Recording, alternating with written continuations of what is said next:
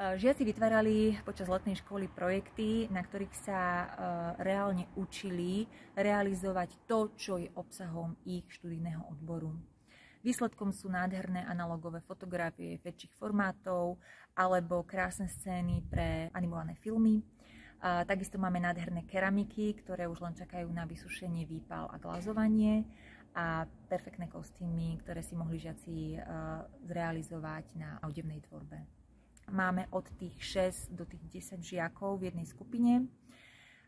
Žiaci si to pochvalujú z toho hľadiska, že mohli si dokončiť svoje práce, mohli si vyskúšať nové materiály, nové postupy alebo zaexperimentovať a učitelia sú nadšení, že ten záujem zo strany žiakov je pomerne vysoký.